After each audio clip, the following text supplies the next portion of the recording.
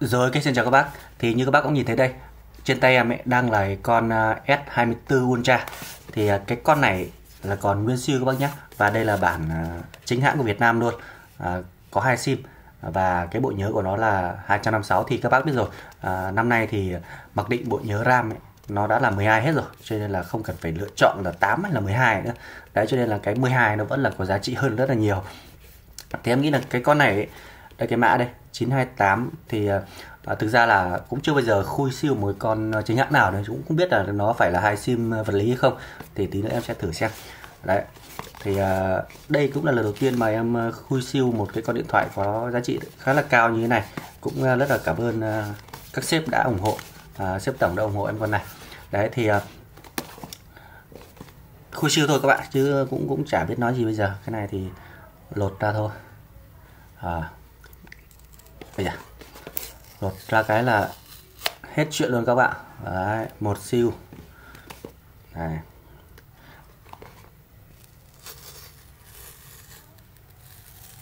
Hai siêu. Đó. Vậy là xong chuyện rồi đấy các bạn. Mất một quả thận rồi đấy. Rồi, đó. Thì đây là cái màu xám titan đây này các bạn. Đó thì ở cái ánh điện này có thể các bác sẽ không không nhìn được cái màu thực tế của nó. Nó sẽ hơi nó hơi hơi bị ờ, cái gì nhỉ? Đây nó hơi hơi bị ánh ánh sang cái màu hơi hơi vàng vàng một chút nhé. Chứ không phải là ờ, là xám hoàn toàn đâu. Thì con này chắc chắn là một điều là nó là mới tinh rồi không phải nghĩ ngợi gì rồi. Thì như các biết rồi ở trong cái này trong hộp này thì nó chả có phụ kiện gì thì phải. Đây thì em xem là thì cũng như anh em uh,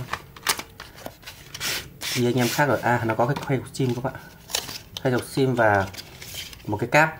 Đây thì uh, cho các bác biết luôn là cái cáp ừ, xịn theo máy nó như thế nào các nhé đây này có cái chữ uh, có chữ Việt Nam mà viết rất rất là ngay ngắn đây này các bác. Đó thấy không? Để em kiếm một cái cáp khác nữa xem nào. Đây cái một cái cáp khác của cũng của Samsung đây. Đây chờ một chút xem nào. Nó đây này các bác nhìn thấy không? Một cái cáp khác này cáp khác này. Đây có cái chữ Samsung à quên có cái chữ Việt Nam nhưng mà nó hơi nhìn nó hơi hơi khác đúng không các bác? Đấy, hàng zin nó sẽ như thế này các bác nhé Đấy, nó sẽ như thế này. Còn hàng khác thì nó như thế này. Em cũng chả biết là nó như nào luôn. Đấy tuy nhiên thì nó vẫn dùng ngon thôi. Đó chỉ có điều là phân biệt để các bác phân biệt được đâu là hàng zin thôi. Đây chữ nghĩa của nó như thế này đó và nó chỉ có nó chỉ có một đầu thôi như các bác nhé nó chỉ có một đầu có chữ thôi. Đầu bên này thì trống không không có cái chữ nào cả. Đó. ok thì cái này nó không có quan trọng. À, chắc chắn là sợi cáp này thì uh, em cũng không dùng. À, để đây thì sau này có bán máy thì thì thì, thì uh, uh, thì tặng các bác kèm cái này cho nó mới. Rồi. Ok còn đây là cái uh, cái con điện thoại đây. Khui siêu mặt trước này. Đấy, các bác. Wow.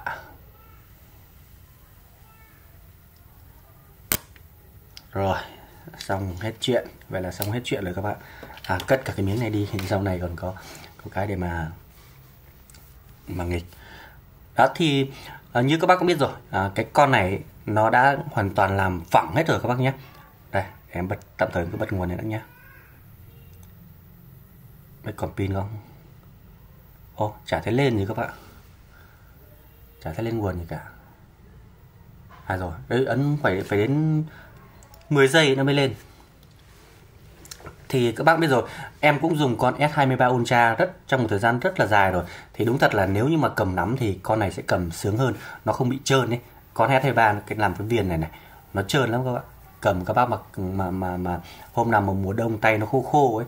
Ôi, hay khô khô nhá. Xong rồi à, xong rồi các bác cầm như này này, nó rất là dễ dễ dễ trơn trượt nha các anh nhá. Em tí trơn trượt mấy lần rồi.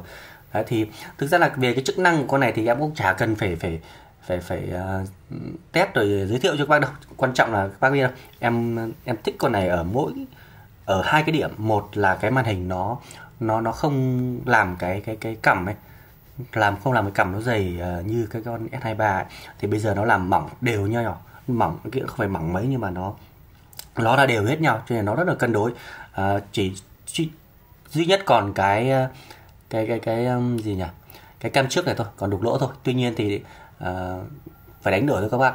À, nếu các bác muốn chất lượng cái cam nó tốt thì vẫn vẫn phải đục lỗ như này thôi. Chứ còn ẩn dưới màn hình thì chắc chắn một điều là cam trước nó sẽ không ngon. Thì cho nên cái này nó cũng cũng cũng là một điểm trừ và cũng một là một điểm mạnh các bạn cho nên nó không phải là vấn đề.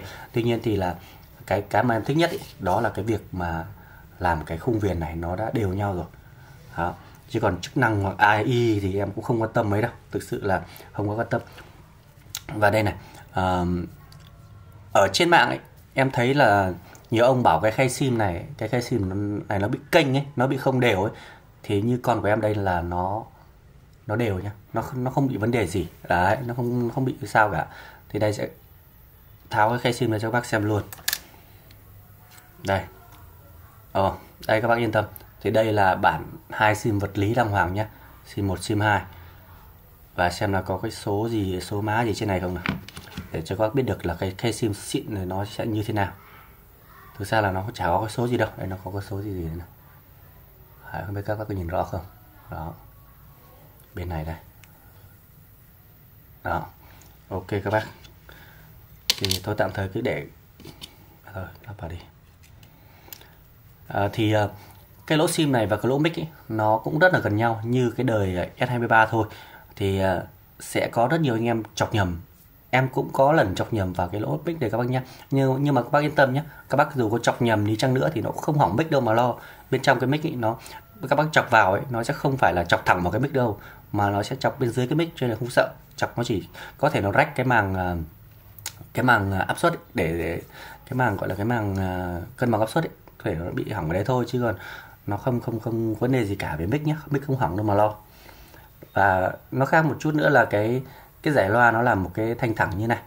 Đấy thì uh, thực ra là ừ, thực ra ấy là nhiều cái cái cái về về về mặt thẩm mỹ thì nhiều nhiều anh em bảo như này là là ngon là là là hay hơn nhưng mà uh, riêng đối với em thì em thích cái cái cái giải loa nó đục nhiều lỗ hơn.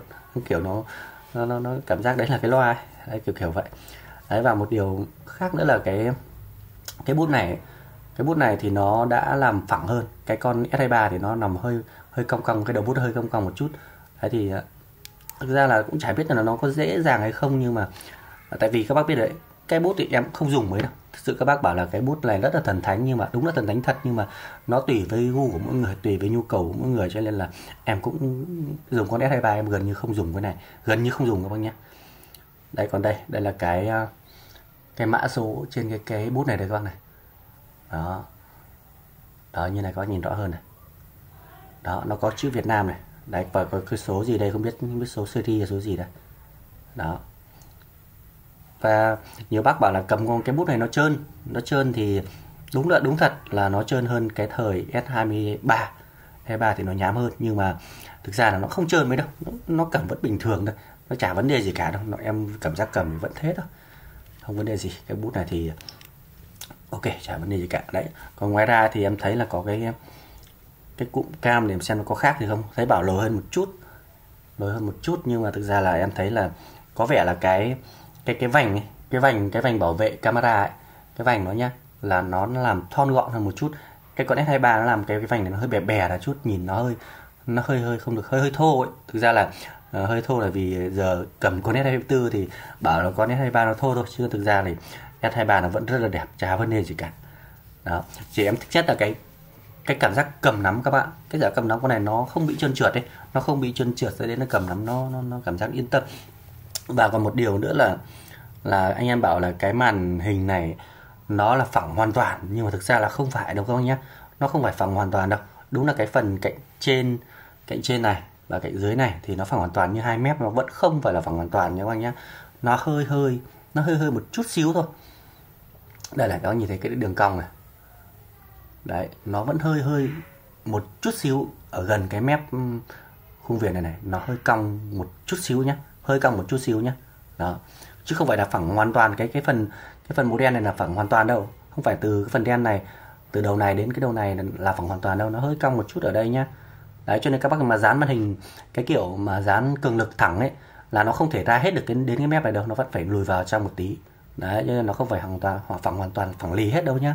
Đấy, nhiều anh em bảo nó phẳng hoàn toàn thì không phải.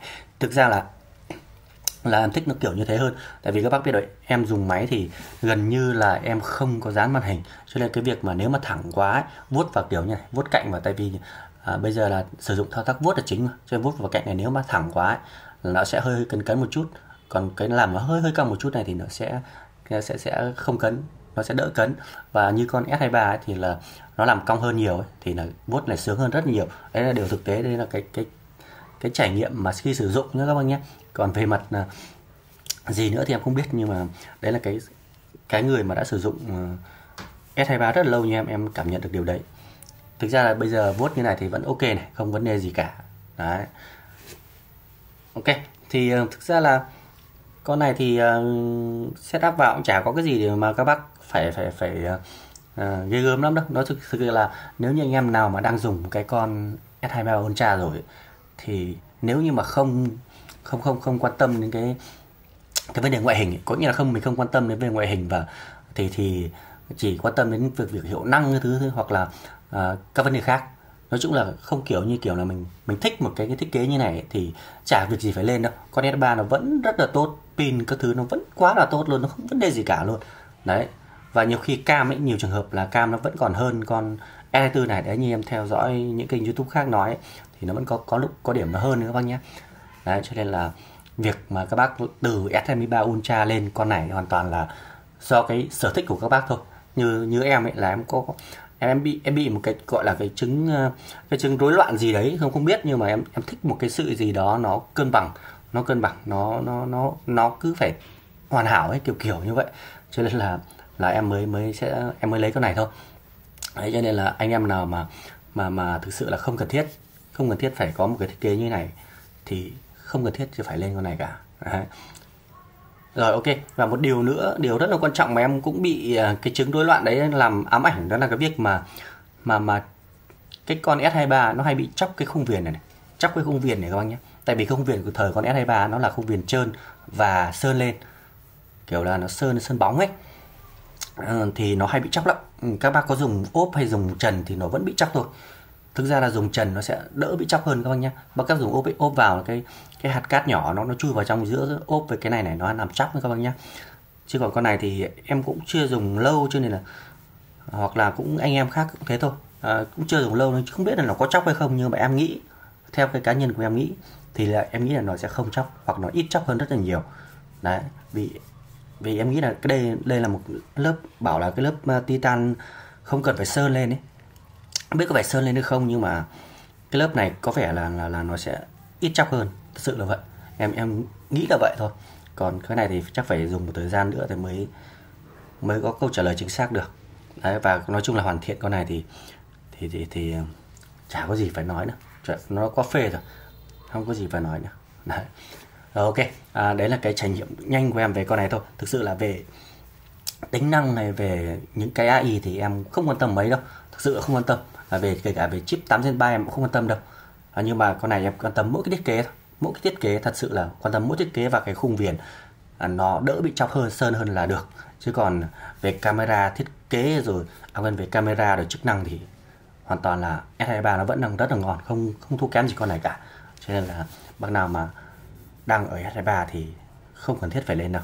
Rồi à, ok. À, chào các bác nhé.